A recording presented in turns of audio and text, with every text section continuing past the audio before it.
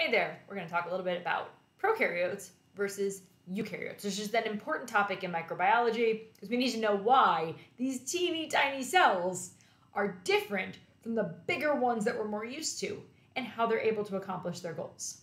Now, of course, the biggest part of prokaryote versus eukaryote is, in fact, the idea that prokaryotic cells do not have a nucleus, or actually, more specifically, any membrane bound organisms. So, pro meaning before the karyote, which is the kernel or nucleus, and eu meaning true nucleus. So, here's our nucleus, and here you can see there's not. Of course, part of the issue is that these guys are so much smaller. This is not to scale today because I want to be able to see the structures of the bacterial cell. But a bacterial cell is only about the size of the mitochondria in a eukaryote. So eukaryotes need all this extra membrane to actually be able to accomplish their goals. But sometimes it seems to make their goals easier. So thinking about how prokaryotes are able to do things is important. So we'll examine the major functions of life and how these two cells use different structures to basically accomplish them. Not a lot of detail yet because we're going to get into the details of each of these things going forward. All right.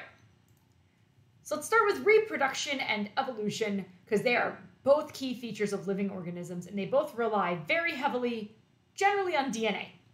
So knowing where the DNA is and how it's structured is the key part of understanding this. Now, in a eukaryotic cell like this lovely animal cell, you've generally got DNA hiding out in the nucleus. It's got its very own membrane called the nuclear envelope.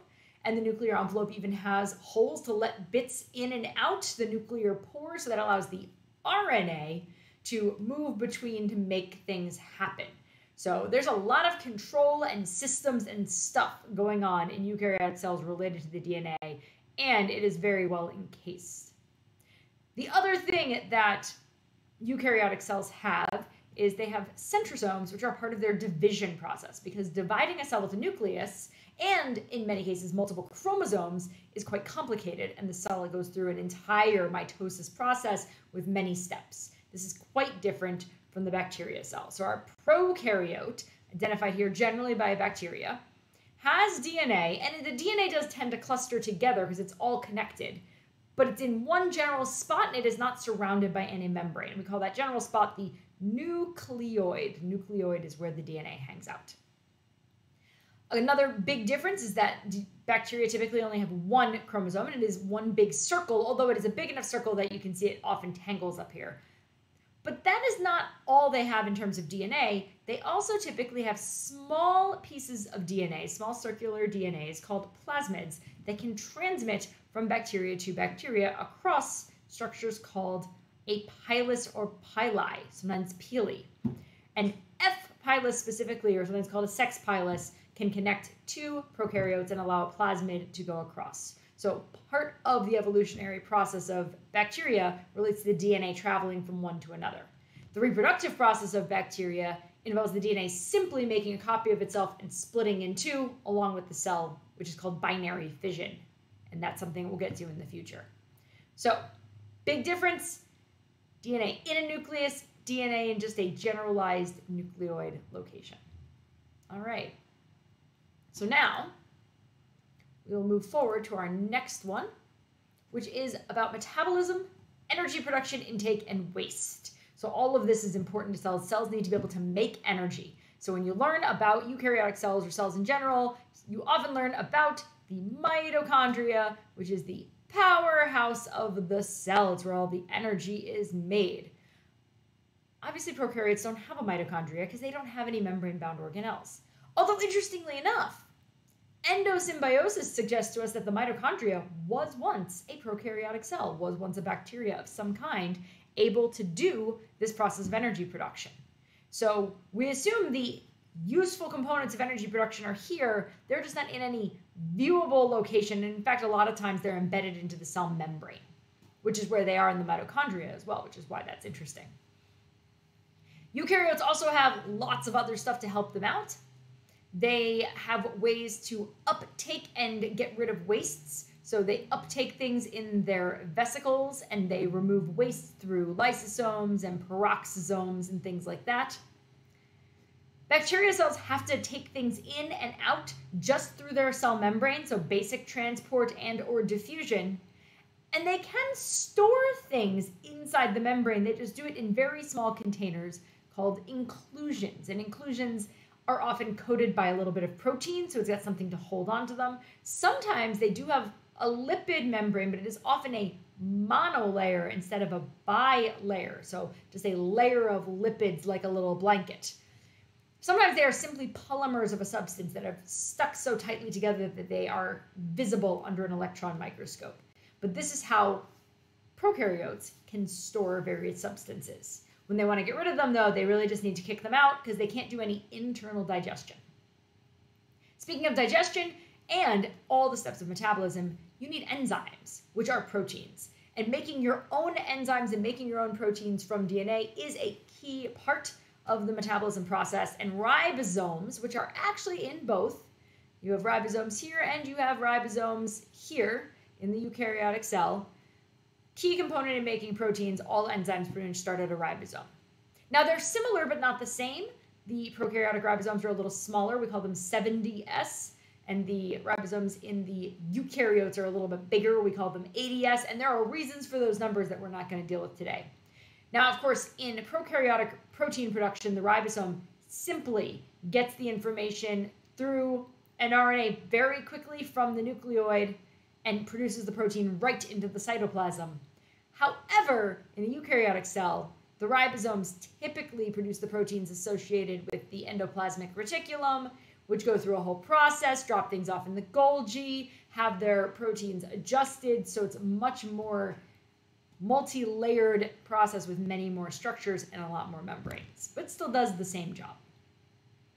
All right, so moving on again into part of our response to the environment. So I'm break response to the environment into a couple of things, and we'll start with the idea of protection and structure, which is not letting the environment get to you. So key part of not letting the environment get to you relates to having good external protection. And eukaryotes do have some external protection. Everybody has a plasma membrane pretty much, and they're very similar amongst the different organisms. The only one with a different plasma membrane is actually archaea. And we'll get to that in the future. And then there are cell walls, the outside of the cell. Some eukaryotes do have cell walls. Most things that we classify as animals do not, and some of the smaller protists do not. But for example, fungi have a chitin cell wall, so that's a type of protein that surrounds them. Then we have algae in cases have different cell walls. Diatoms have silica around them. Many plants have cellulose around them. So there are a lot of cell walls that do some protective things. Bacteria also have cell walls, and they are made out of completely different substances, which is why they're interesting. We'll get a little bit more in depth as to how these cell walls are made because bacteria have three or four major types of cell walls. But almost all of them contain a substance called peptidoglycan. Peptide for protein, glycan for carbohydrate. It is a sugar protein based substance that is surrounding the entire cell membrane in some manner. Some cells also have a lipopolysaccharide. That one is lipo for lipid, polysaccharide, carbohydrate. So again, things attached to carbohydrates that also go completely around the cell. The lipopolysaccharide actually triggers immune responses in multicellular creatures. So it's a very good protective mechanism, but can be kind of interesting. Some bacteria also then have further things along their outside called a glycocalyx. And the glycocalyx are glyco for sugar, sweet, sticky things that they use to attach to their environment because they do a little bit less moving, a little bit more holding on to something. And the glycocalyxes could be a capsule, which tends to be a harder coating around each individual bacteria, or a slime layer. And the slime layer is secreted so the bacteria can stick to a substance and then stick to each other. This helps form biofilms. And those both are very different from the eukaryotes. So cell walls in prokaryotes have peptidoglycan, maybe LPS. They may have a capsule, they may have a slime layer. All of those are different from the eukaryotes, which either don't have a cell wall at all, or have something like chitin, silica, or cellulose. Now, one of the things the eukaryotes do have is they have the cytoskeletal system, so a lot of internal proteins that help them maintain the structure of their very large cells, something prokaryotes don't in fact need.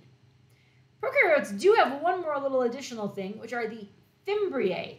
They look like little hairs sticking out of the cell, and they are often used again for attachment. So grabbing onto something and holding to it. So prokaryotic structure is built partially on the cell, but partially on the architecture of how many cells stick together and grab hold of something.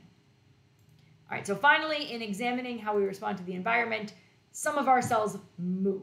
Most animal cells have some sense of movement. Some of them move using microfilaments, which are essentially little fibers that can contract and pull parts of the cell around. And some of them have flagella, which are little tails. So tails allow the cell to move. Eukaryotes can also have cilia. So these are also little hair-like protrusions, but they're very different from the fimbriae on the prokaryotes. The cilia are made out of larger microfilaments, which help hold on to things, actually microtubules. So are the flagella in the eukaryotes. Interestingly enough, prokaryotes do have flagella to help them move, but they're different. They're made out of a different type of protein structure and they're controlled in a different way. Also, many prokaryotes have more than one flagella and sometimes in interesting places. So they'll have them one on each end or scattered throughout the cell, and there are a lot of different terms associated with the different types of flagella and how they're used.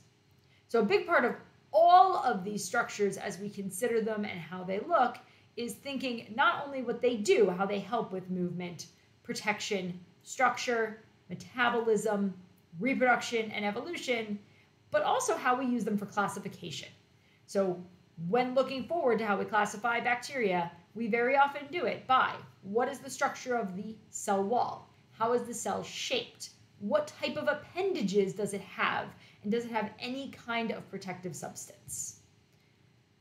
All right, that's the majority of important cell structures between prokaryotes and eukaryotes and how they are different.